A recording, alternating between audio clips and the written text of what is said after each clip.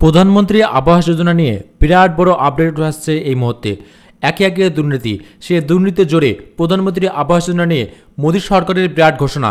এবার ঘরের টাকা ঢুকবে সরাসরি অ্যাকাউন্টে হ্যাঁ বন্ধুরা, ঠিকই শুনেছেন। এবার ঘরের টাকা প্রাপ্য গ্রাহককে সরাসরি অ্যাকাউন্টে পাঠিয়ে দেওয়ার ব্যবস্থা করছে মোদী সরকার। তা ঠিক কী আপডেট উঠে আসছে এই মুহূর্তে বিস্তারিত জানাব এই ভিডিওতে। তা ভিডিওটি আপনার জন্য খুবই খুবই গুরুত্বপূর্ণ। তা ভিডিওটা কোনো জায়গা না টেনে প্রথম থেকে লাস্ট পর্যন্ত অবশ্যই দেখুন। বন্ধুরা অনস্কে দেখতে পাচ্ছেন কীভাবে ঢুকবে বাড়ির টাকা। প্রধানমন্ত্রী আবাস যোজনা নিয়ে বিরাট সিদ্ধান্ত কেন্দ্রের।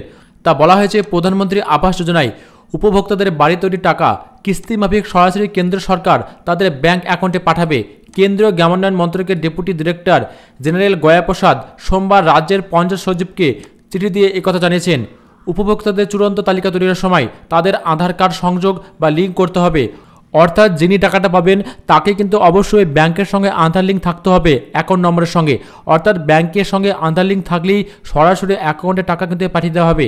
বলা হয়েছে, কেন্দ্রীয় সরকার গত বছর সেপ্টেম্বর মাসেই সিদ্ধান্ত নিয়েছেন, উপভোক্তাদের আধার বেস পয়েন্ট সিস্টেমকে হাতিয়ার করে এই প্রকল্পের খরচ মেটাবে।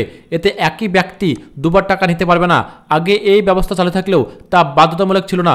যদি কারও আধার লিঙ্ক ফেল করে, তাহলে সংশ্লিষ্ট কর্তৃপক্ষকে দিয়ে অথেন্টিক করাতে হবে। এই এই প্রসঙ্গে আপনাদের জানি রাখি, এই প্রকল্পে যেসব বাড়ি তৈরি হয়ে গেছে অলরেডি তাদেরও কিন্তু আন্দালিন করাতে হবে।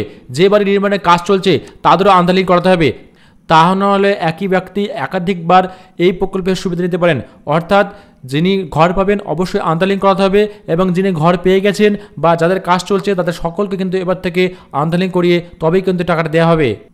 তা বন্ধুরা, এই ছিল ছোট্ট একটা আপডেট আপনাদের জন্য আপডেটটা ভালো লাগলে অবশ্যই লাইক করে দেবেন। আর এই ধরনের ভিডিও সবসময় পাওয়ার জন্য অবশ্যই চ্যানেলটিকে সাবস্ক্রাইব করে পাশের বেল আইকনটিকে অবশ্যই অল করে রাখবেন।